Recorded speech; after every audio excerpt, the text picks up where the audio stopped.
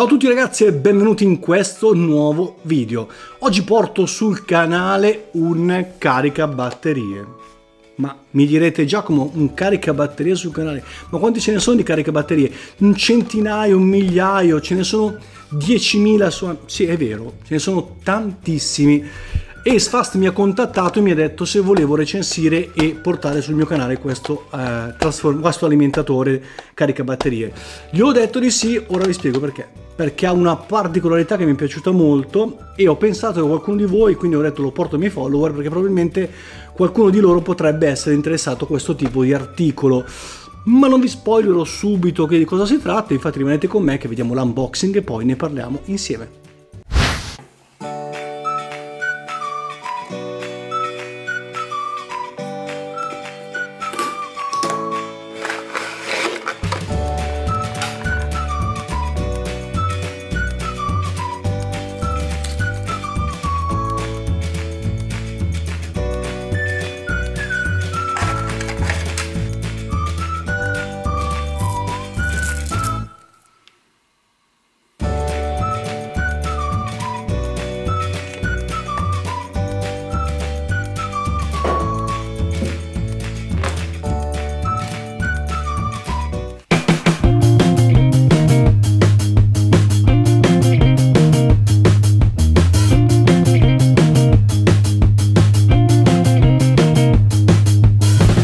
Bene, avete visto l'unboxing, anche una breve insomma carrellata di immagini per quanto riguarda questo carica batterie davvero particolare, ora vi spiego perché.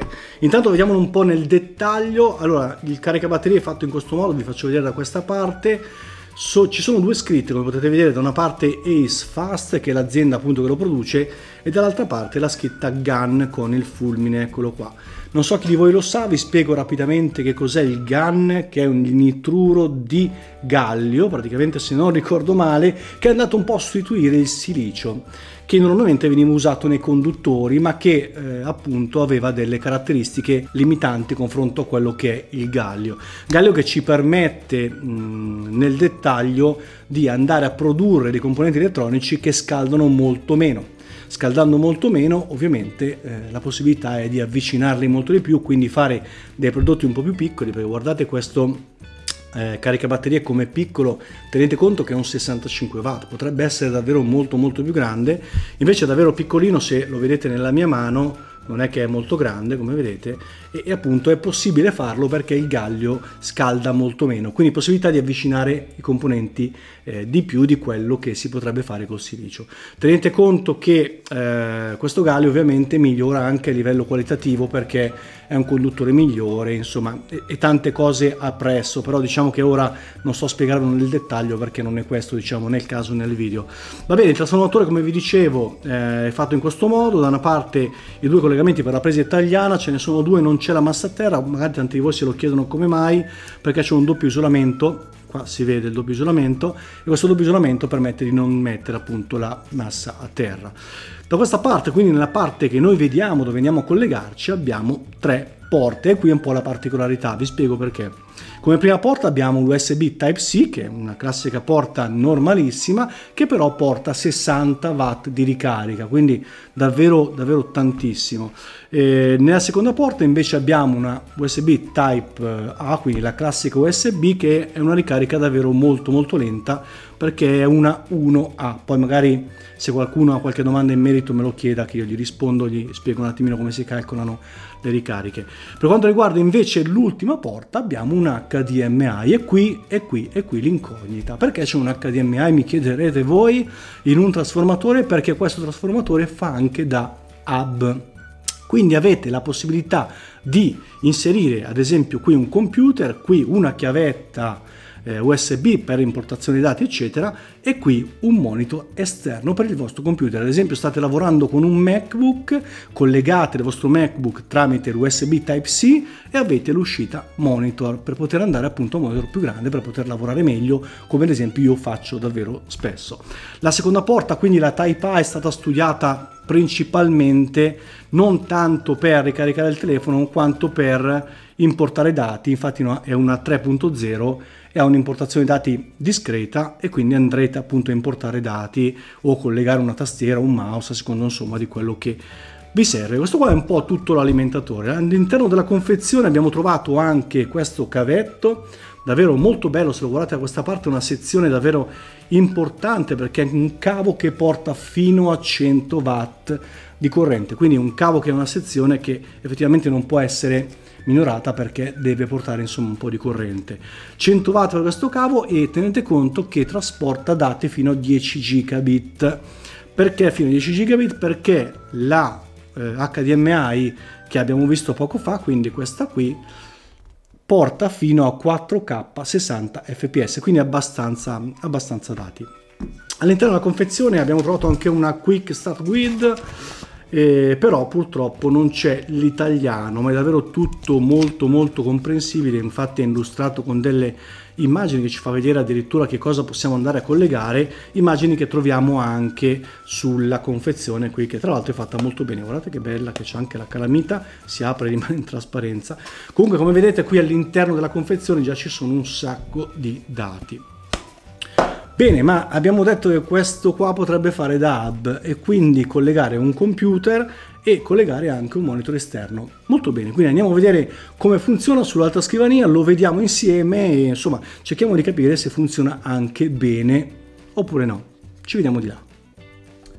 Bene, preparato tutto quello che serve per farvi vedere il funzionamento. Il mio MacBook, alimentazione, trasformatore, eh, il cavetto Type-C che abbiamo trovato in confezione, L'HDMI è collegato al mio monitor principale e anche la Nintendo Switch perché voglio vedere se effettivamente anche quella viene trasmessa. C'è anche il mio microfono qui altrimenti non mi sentite ma quello non c'entra niente con la prova.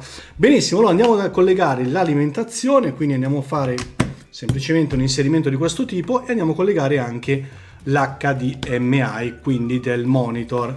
Dopodiché cosa facciamo? Apriamo la nostra fascettina carinissima, tra l'altro Ace Fast marcata e andiamo a collegare il cavetto Type-C. Come prima cosa direi di collegare la Nintendo, vediamo se funziona. Accendiamo intanto il nostro monitor, così eh, vediamo anche quanto ci mette per collegarsi, vediamo se si accende. Questo monitor a risparmio energetico si spegne facilmente non appena praticamente lo scolleghiamo. Ecco qui collegata la, la USB Type-C, vediamo quanto impiega. Ecco qua, già fatto, praticamente siamo già connessi, come vedete la mia Nintendo Switch è già connessa al monitor. Facciamo lo stesso identico test con il mio computer, quindi andiamo a scollegare la Type-C da qui e andiamo a collegarla nel mio MacBook. Inseriamo e vediamo quanto ci mette per collegare, quindi trasmettere sul monitor principale che abbiamo qui davanti.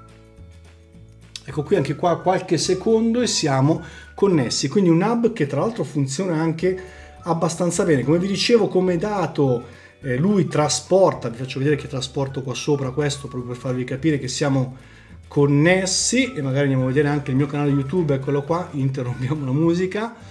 Eh, bene, funziona, funziona, funziona perfettamente. Quindi possibilità, come vedete, di collegare eh, tramite questo mh, caricabatterie, chiamiamolo così, anche un monitor esterno come vedete funziona davvero anche, anche, bene.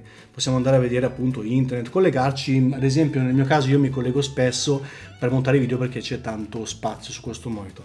Quindi torniamo un attimo di là e tiriamo le conclusioni finali. Scusa Giacomo non ho capito. Hai detto conclusioni finali?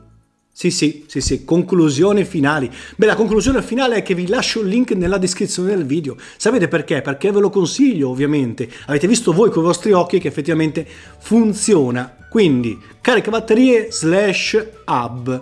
E vi dirò di più, questo hub è davvero così versatile che potete utilizzarlo per tutto, ad esempio potete anche trasmettere su un proiettore esterno quello che c'è sul vostro computer, ad esempio un film o cose di questo tipo, è davvero versatilissimo, potete giocare alla Nintendo Switch collegando un controller pro con il cavo, per esempio, davvero versatile in ogni senso. Che dire, io vi saluto, vi do l'appuntamento sempre qui al prossimo video sul mio canale YouTube, lasciate un like se il video vi è piaciuto e niente, accendete la campanella così vi avviseranno se volete essere avvisati nel caso in cui pubblicherò un altro video. L'appuntamento è sempre qui sul mio canale YouTube. Ciao!